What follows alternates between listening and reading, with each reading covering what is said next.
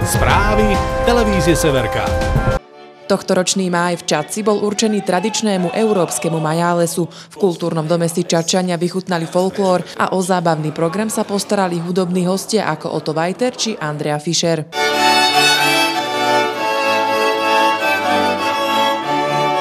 Čačanský majáles prebehol za účasti premiéra a odzneli aj informácie o 10. výročí členstva Slovenska v Európskej únii. Pokiaľ ide o orientáciu Slovenska vo vzťahu k Európskej únii a k ďalším medzinárodným inštitúciám, ale sú hlasy, možno v Európe a v iných krajinách silnejšie ako na Slovensku, ktoré hovoria, že Európska únia nie je dobrý projekt. My si myslíme, že Európska únia je projekt pre Slovensko ten najlepší, aký môže existovať preto by som privítal, pokiaľ by ľudia, ak pôjdu voliť, si vyberali medzi tými politikmi, ktorí sa hlásia k Európskej únii, ktorí hovoria, že pre Slovensko členstvo 10-ročné znamenalo obrovský prínos a obrovské prostriedky finančné a ďalšie výhody, ktoré sú s tým spojené.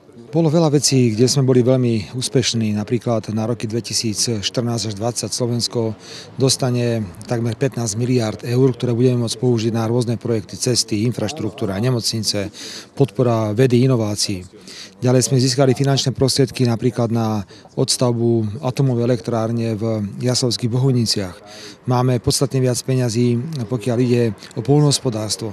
Ak celkovo dáme dohromady výdavky, ktoré sú spojené s členstvom Európskej únii a príjmy, ktoré máme z Európskej únie, tak sme vysoko zisková krajina. Prakticky na hlavu patríme asi sme druhá najlepšie postavená krajina, ak dáme finančné prostriedky na jedného obyvateľa Slovenskej republiky. Ja nevidím v tomto okamihu nejaké nevýhody, ktoré by boli spojené s členstvom. Máme euro. Ja nepredpokladám, že by ľudia na Slovensku nadávali na euro. Máme Schengen. Dneska, keď sadnete do auta na Slovensku a vám vydrží benzín a nezaspíte, tak môžete ísť až do Portugalska bez toho, aby vás niekto zastavil.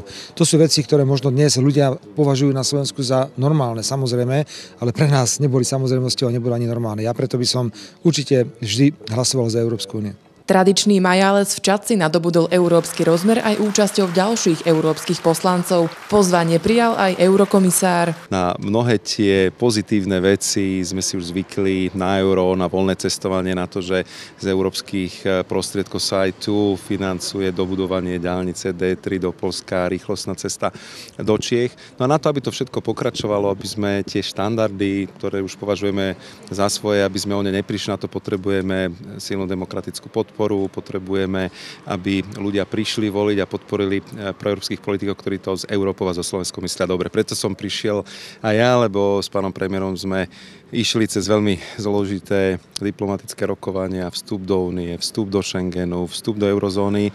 No a viac menej dnes už vidíme, že tých 10 rokov európskych, slovenských bolo veľmi úspešných, no a myslím si, že potrebujeme ďalšiu takú úspešnú 10 ročnicu. Ani na tohto ročnom majále sa nechýbala dobrá nálada. Živá hudba nenechala bez úsmevu ani jedného čarčana.